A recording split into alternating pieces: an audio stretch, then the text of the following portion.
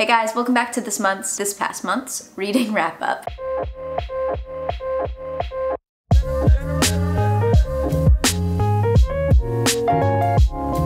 I don't know about you, but July was a bit of a weird reading month for me. It started off slow, and then in the middle of the month, I read like five books back to back. And then I ended the month by taking a whole week to read one book. I don't know what I was doing during that last week, but whatever it was, it wasn't reading apparently. Somehow, I still managed to read nine books this month, which all in all, I think is pretty good.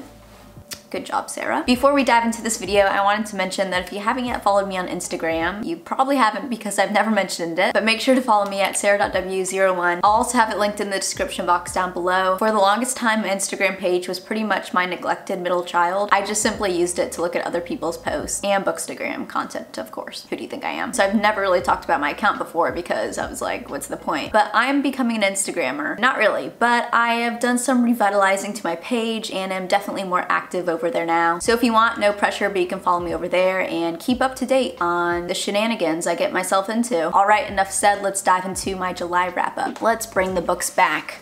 Whee! This month I had one two star, one 3.5 star, two four star, two 4.5 star, and three five star reads. So it was a bit all over the place. As always, I'm gonna start with my lowest it's okay, we just dropped the Spanish Love Deception, but I don't really care about that book that much. Um, tea. As always, I'm going to start with my lowest rated reads and end with my highest rated. My two star read of the month, we're gonna quickly talk about because I did do a whole reading vlog about this book with more of my thoughts and opinions on it. But as you might already know, I ended up giving The Spanish Love Deception two stars. I felt like the author had a concept for a rom-com and then took that concept and ran with it for 400 pages without ever stopping to create depth, such as character development. In my opinion, any good book has a factor to it that makes it stand apart from other novels. And usually it's something you're not expecting and it's not in the synopsis. This book, on the other hand, is literally not much more than the synopsis. Y'all probably know by now the concept of this book, but basically we follow our protagonist, Catalina, who desperately needs a date to a wedding she's attending in Spain. But the problem though is no one is available except her colleague, Aaron Blackford, who unfortunately for Catalina is her arch nemesis. Obviously in the reading vlog, you can see that I did like some aspects aspects of the book, but most of the book I found boring. I didn't care about the characters, the plot was predictable, so I'd personally skip this book, but some people are totally obsessed with it. I don't understand how. Please enlighten me if you are. Next, my 3.5 star read of the month was 14 Ways to Die by Vincent Ralph. I want to start off by saying that this felt like the generic store brand version of A Good Girl's Guide to Murder. Maybe that's not fair to say because some store brand versions are just as good as the name brand. So let me clarify, if this was a cereal, this would be the generic store brand version of Cheerios compared to A Good Girl's Guide To Murder, which would be the tastier General Mills Cheerios. I don't know what type of GMOs they're putting in name brand Cheerios, but I literally eat that shit up. Am I two years old? It's hard to say at this point. In this book, we follow Jess, who is obsessed with catching the serial killer called the Magpie Man, who 10 years earlier murdered her mom. So to catch this killer, she signs up to be a contestant on this reality show where she live streams her daily life on YouTube. Coincidentally, I still can't figure out why her dad agreed to let her be on this reality show in the first place, because all of this sounds very dangerous to me, since Jess is risking her life to catch this killer before she becomes his 14th victim. I don't think this is a spoiler because all like mysteries or thrillers have some sort of this aspect in them, but there's a red herring in here that really annoyed me so much. I hate it when books lead you on and then they're like, ha, just kidding, fooled ya, back to square one. I think I would have rated this book lower if it weren't for the fact that the chapters are so short and so fast to get through. Most are two pages or less. I do love short chapters in books. I also did enjoy part in this book where the characters go on a class field trip to this retreat. It gave camp vibes that I didn't even know I wanted. This felt so similar to A Good Girl's Guide to Murder though. I even pictured Jess as Pip in my head, but the writing just did not compare in the slightest. My first four star read of the month I have here is And Then There Were None by Agatha Christie. I actually have the mass market paperback version of the book, so it's so tiny. But this was actually perfect because I read this when I was on vacation, so this just fit so perfectly in my purse. I have heard some call this a classic. I don't know if it's technically considered one, but the writing did feel like that old English style which you typically get in classics, which made it a little bit harder to get into and understand. So that's why I ended up knocking off a star because my pet peeve is when books make me feel stupid. Okay. You know what would be a good Christmas present, birthday present? I don't know, Halloween present since that's the next major holiday. But I really need to get another camera battery because I can't for the life of me keep my camera charged. I'm literally getting a degree in digital video and cinema. You would think it wasn't going well with these actions. Where was I? The amount of rereading I had to do with this book to understand what the author was trying to say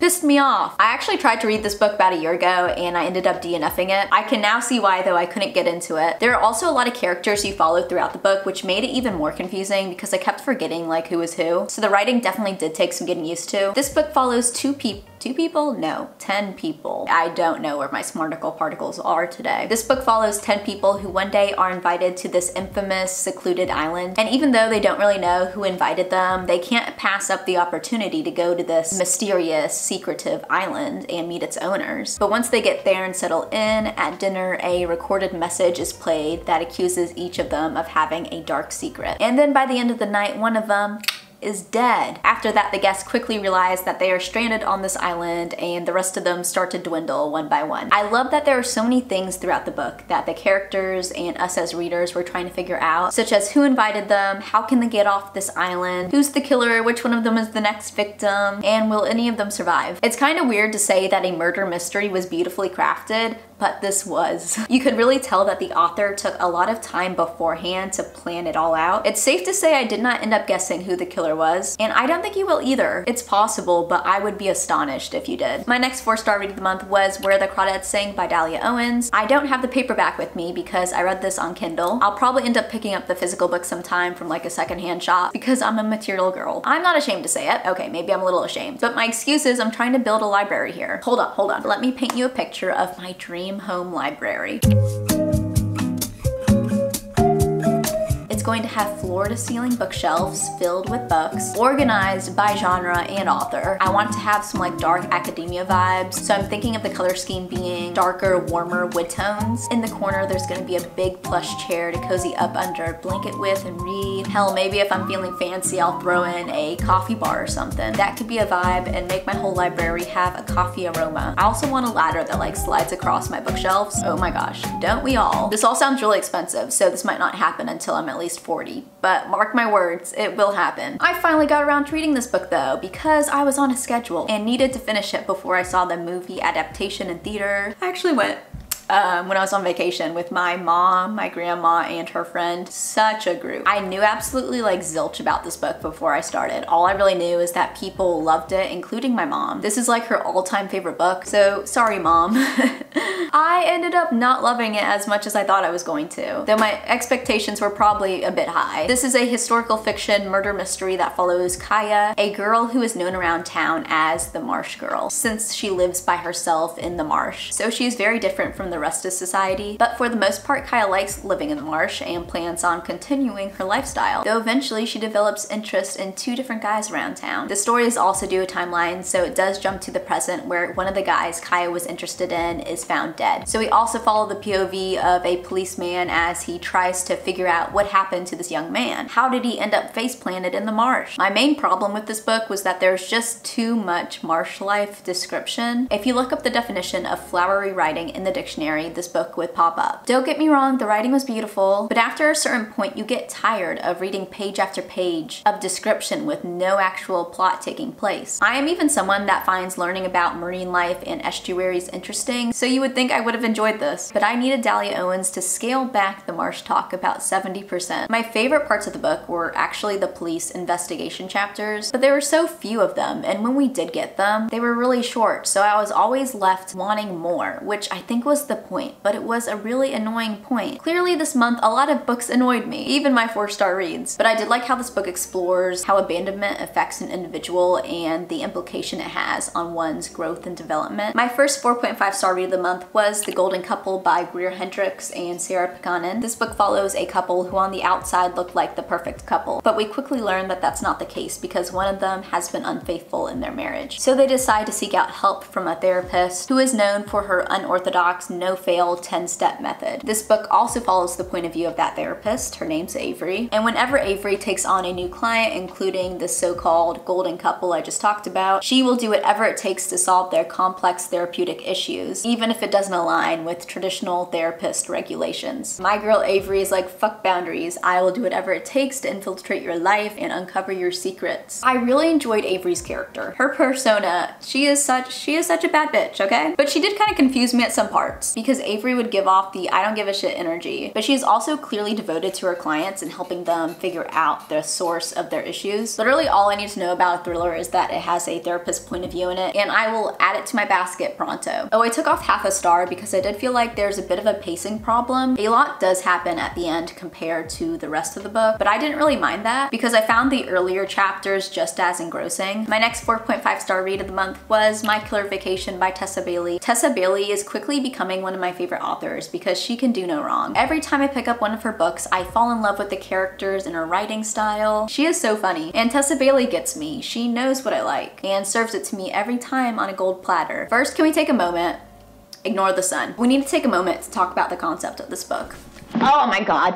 This is a murder mystery rom-com. Hello? That sounds like an absolute blast. It was a blast. Am I just blind or why haven't I seen any other books like this on the market? We definitely need more murder mystery rom-coms immediately because I am addicted and I need my next fix. In this book, we follow the POVs of an energetic elementary school teacher, Taylor, and a grumpy bounty hunter, Miles. And the book starts with Taylor and her brother entering their Airbnb they booked for a relaxing vacation. But little do they know though that this vacation is going to be far from relaxing because while Taylor is looking around the Airbnb, checking out their new crib, she opens up a closet and what does she see in there? A dead body. So Miles, the bounty hunter, gets assigned to this case to try to figure out who they killed this man in Taylor's closet. And Taylor decides that she would be the perfect candidate to help him out because she herself loves true crime podcasts. So obviously she has some stellar qualifications here. But Miles is not very happy about this prospect. He would rather get into town, solve this case solo, and then get back to his nomad bounty hunter lifestyle. So we have a very contrasting duo in this book, but obviously they end up falling in love. Look how cute they are. I love Taylor and Miles, but I think my favorite character had to be Taylor's brother Jude. I don't want to spoil anything, but the reason why Taylor booked this vacation in the first place was because Jude was going through something and she thought he needed like a relaxing break. And I initially thought that this something was something completely different than it ended up being. And once I found out what it actually was, Jude immediately needed to become my favorite character. Jude and